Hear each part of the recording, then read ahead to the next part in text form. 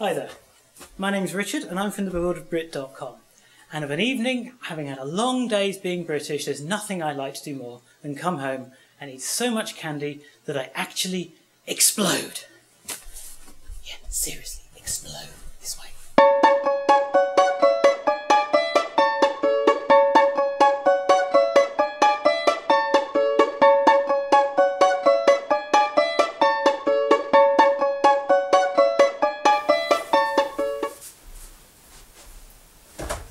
Ladies and gentlemen, it is 1979. Well, if that's 30 years ago, but let's pretend it's 1979. You have just bought some Pop Rocks, one of the most famous candies around at the moment, or 30 years ago. But you're scared. And there's a reason you're scared. And the reason you're scared is there's a rumour going around that a little boy called Mikey, who had been in the Life cereal commercials, um, he'd been at a party and he'd eaten six packs of Pop Rocks and six cans of Coke, and in so doing, poor little Mikey had exploded because of a reaction between the Pop Rocks and the soda in his stomach. Well, today, once and for all, I'm going to put a final nail in that coffin. I'm going to drink six cans of Coke, I'm going to eat six packets of Pop Rocks, and I'm not going to explode. Gosh darn it. I'm going to lay this urban legend to rest, once and for all. Cheers.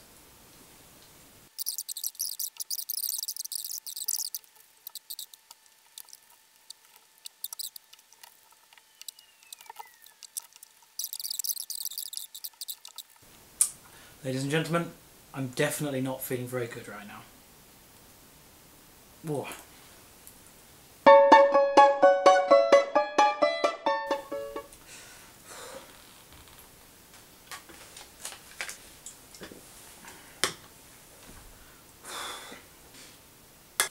I feel really sick. Oh, God. Okay. Final can of Coke. One and a half packets of Pop Rocks left.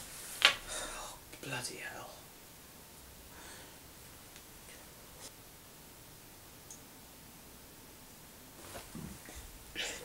If you'll just excuse me for a minute. I can do this. I can do this. Last pack of Pop Rock. Pop.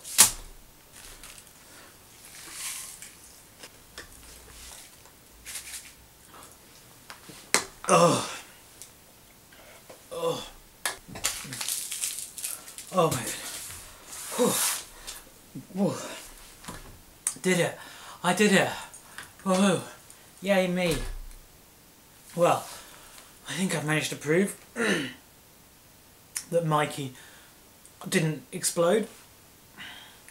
But he was, however, probably very, very sick. Which is kind of how I feel now. Um, so join me again for the next exciting and enthralling episode of The Bewildered Brit. But right now, I'm going to have to go.